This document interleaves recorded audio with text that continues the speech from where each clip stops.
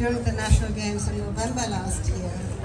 And um, I think this was a real office-wide approach uh, with the B team, the emergency team leading, but also communication team and, and the Connect team working together. So a big hand, and we got several.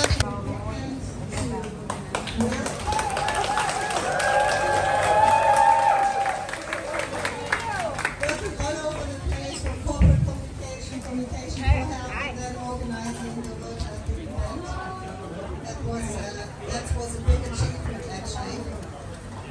I would also like to highlight that we are close to malaria elimination.